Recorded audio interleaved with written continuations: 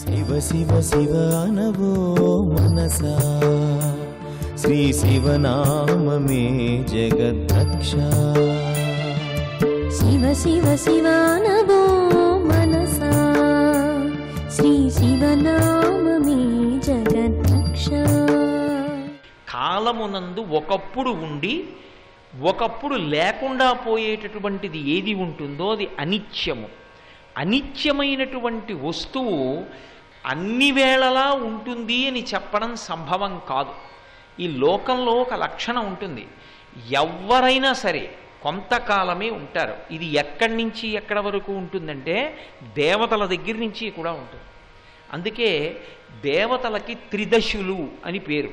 అంటే వాళ్ళు పుట్టినప్పుడు ఇరవై ఐదేళ్ళ వయస్సుతో పుడతారు. వాళ్ళు ఉన్నంతకాలం ఇరవై ఐదేళ్ళ వయస్సుతోటే ఉంటారు. వాళ్ళ శరీరం పడిపోయినప్పుడు ఇరవై ఐదేళ్ళ వయస్సు ఉండగానే పడిపోతారు.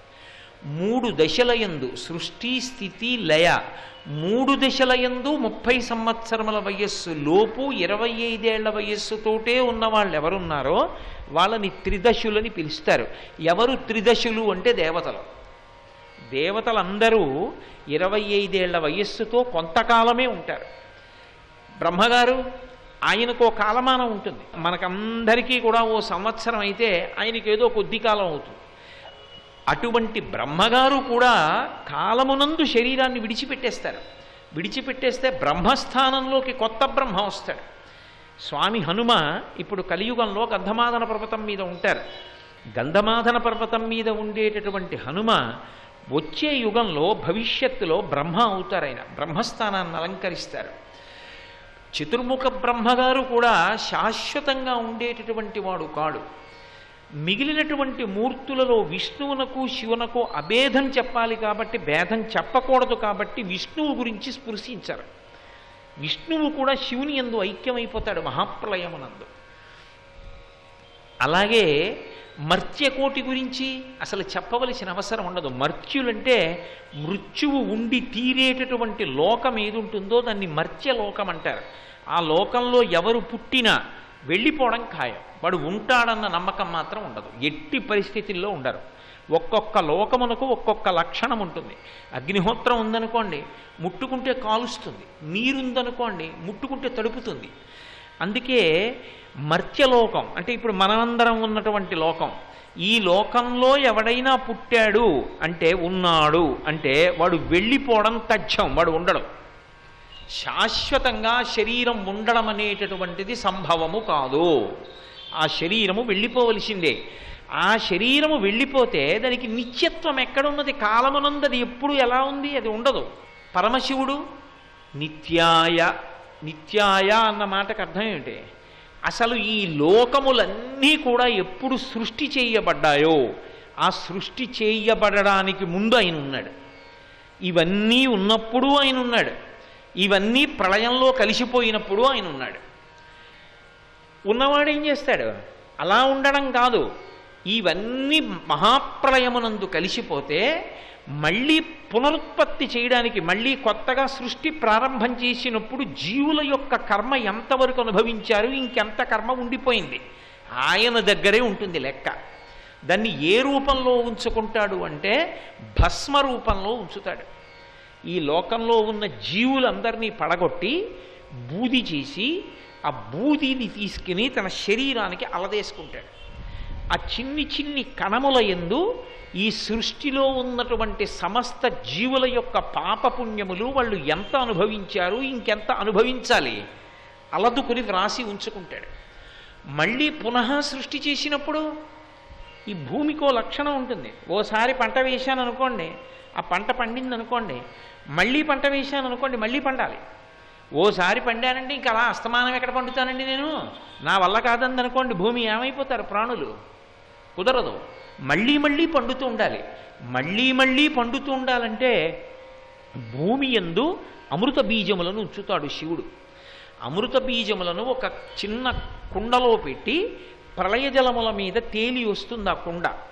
ఆ కుండ ఎక్కడ ఆగుతుందో అక్కడ శివలింగం ఆవిర్భవిస్తుంది.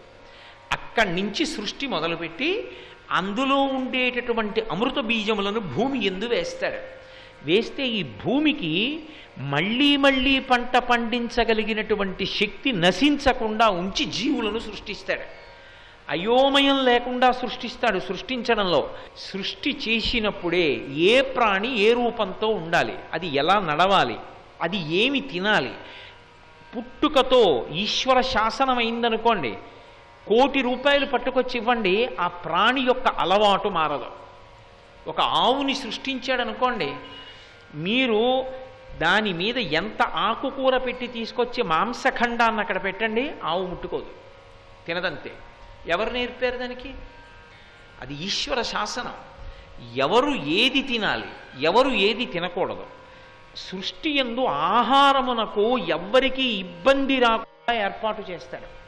ఒక ప్రాణిని సృష్టించడం కాదు సృష్టించిన ప్రాణి ఎంతకాలం ఉండాలి ఏం తినాలి ఏం తాగాలి ఎలా బతకాలి ఎలా చావాలి నిర్ణయం చేస్తాడు. అందుకని స్థితికర్త విష్ణువు అయి ఉంటాడు.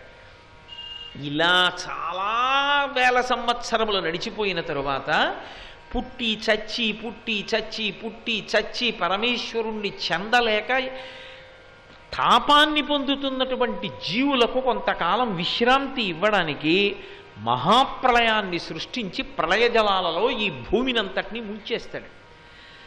అందుకే లోకంబులు లోకేశులు లోకస్తులు తెగిన తుది అలోకంబకు పింజీకటి కావల ఎవ్వండే కాకృతి వెలుగువతని నేసేవింతున్నంటారు పోతన గారు. అప్పుడు ఇంకేం ఉండవు. సూర్యచంద్రుల కాంతి కూడా ఉండదు. నతత్ర సూర్యోభాతిరచంద్రతారకం నేమా విద్యుతో భాతి కుతోయమగ్ని. త్వమేవ భాంతమనుభాతి సర్వం తస్య భాషా సర్వమిదం విభాతి అంటుంది ఉపనిషత్తు. ఇక వెలుగి ఇవ్వగలిగినటువంటి సూర్యచంద్రులు కూడా ఆగిపోతారు. ఈ కటిక చీకటి కావల ఒక్కడే వెలుగుతూ ఉంటాడు. ఆ వెలుగుతూ ఉండిపోయే తత్వానికి పరమశివుడని పేరు.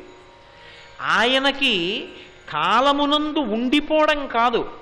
కొంత కొంతమంది చూడండి ఏదో ఒంటికి నూట పదహారేళ్ళు నూట ఇరవై ఏళ్ళలో వస్తాయి. కానీ వాళ్ళకి కణజాలము విచ్ఛిన్నమై జ్ఞాపక శక్తి ఉండదు. జ్ఞాపక శక్తి ఉండక మంచం మీద ఉంటారు. ఏదో ఎవరైనా పట్టుకెళ్ళే జావో నోట్లో పోసారనుకోండి తాగుతారు. కానీ అసలు వాళ్ళ పిల్లలు ఎంతమంది? ఆ పిల్లలు ఎక్కడెక్కడ ఉన్నారు మనవలు ఎంతమంది? ముని మనవలు ఎంతమంది? ఎవరి ఇంటికి వచ్చారు ఎవరు వెళ్ళారు? ఏమి జ్ఞాపకం ఉండదు. ఏమీ జ్ఞాపకం ఉండకపోవడం వల్ల ఏమవుతుందంటే తన గురించి తాను కూడా మర్చిపోతాడు. జ్ఞాపక శక్తి క్షీణించిపోతుంది. రెండు మనుష్యులకు ఒక లక్షణం ఉంటుంది. ఇక్కడ ఏం జరుగుతోందో తెలుస్తుంది. ఇంకొక చోట ఏం జరుగుతోందో తెలిసే అవకాశం ఉండదు. కానీ శివుడు అలా కాదు. అన్ని కాలముల ఎందు ఆయన ఉంటాడు. సర్వజ్ఞత్వముతో ఉంటాడు. ఒకే కాలమునందు అందరి మనసులలోకి అందరూ చేస్తున్న చేష్టితములు అందరి యొక్క కర్మలు అందరి యొక్క పాపపుణ్యములు తానొక్కడే గ్రహించగలిగినటువంటి సమర్థుడై ఉంటాడు. తప్ప నేను ఇక్కడ ఉన్నానండి ఏదో ఆయన చెప్పకుండా నాకు ఏం తెలుస్తుందండి? నా ఎదురుగుండా ఉన్నవాడు ఏం చేస్తున్నాడో చూస్తానండి మంచి చేస్తున్నాడో చెడు చేస్తున్నాడో అనగలిగినటువంటి వాడు కాడు. ఎక్కడ ఉండి మీరు ఏం చేస్తుండండి? ఆయనకి తెలియనిది ఉండదు. అందుకే మూడవ కంటి వాడికి తెలియకుండా చేయడం సాధ్యం కాదు. మూడో కంటికి తెలియకుండా చేయండి అంటారంటే నా రెండు కళ్ళు తప్ప మూడో కన్ను అంటే పక్కవాడికి తెలియకుండా చేయాలి. మూడో మూడు కన్నులు ఉన్నవాడికి తెలియకుండా ఎవడు ఏమీ చేయలేడు. ఆయన సూర్య చంద్ర అగ్నులను మూడు నేత్రములుగా ఉంచుకుంటాడు. పగటి పూట అందరూ ఏం చేస్తున్నారో సూర్యుడన్న కన్నుతో చూస్తూ ఉంటాడు. రాత్రి ఏం చేస్తున్నారో చంద్రుడన్న కంటితో చూస్తూ ఉంటాడు. అగ్నిరూపమై సమస్త జీవులలో ఉండి చూస్తూ ఉంటాడు. ఇప్పుడు నాలో కొంత వేడి ఉండాలి కదా? థర్మామీటర్ పెట్టి చూస్తే ఏదో తొంభై ఎనిమిది పాయింట్ నాలుగో ఏదో వేడి ఉండాలి. ఆ వేడి లేకపోతే ఇబ్బంది కదా? ఆ వేడి రూపంలో ఉండేటటువంటి వాడు పరమశివుడు. అది ఒళ్ళంతా వేడి ఉన్నప్పుడు ఈ శరీరంతో నేను ఏం చేస్తున్నానో ఆయనకి తెలియదేమిటి? భూత భవిష్యత్ వర్తమాన కాలముల ఎందు ఏం జరుగుతుందో తెలిసినటువంటి ప్రజ్ఞ ఉన్నవాడు. నిత్యాయ అని శంకర భగవత్పాదుల అండంలో విశేషం ఏమిటి అంటే ఒక కాలమునందుండి ఒక కాలమునందు లేనివాడు కాడు. అన్ని కాలముల ఎందు ఆయన ఉన్నాడు. అన్ని కాలముల ఎందు ఉన్నాడు. అన్ని కాలముల యందు అందరు జీవులు చేస్తున్నటువంటి విషయములను తాను తెలుసుకుంటూ ఉన్నాడు. అటువంటి సమగ్రమైనటువంటి జ్ఞానం ఉన్నవాడు సర్వజ్ఞత్వం ఉన్నవాడు అందుకని నిత్యాయ త్రిగుణాత్మనే ఆయన మూడు గుణములకు ఆధారభూతుడై ఉంటాడు. అందుకే చేతిలో త్రిశూలం పట్టుకుంటాడు. త్రిశూలం పట్టుకోవడం వెనక ఉండేటటువంటి రహస్యం అది. సర్వం శ్రీ ఉమామహేశ్వర పరబ్రహ్మార్పణమస్తు. స్వస్తి.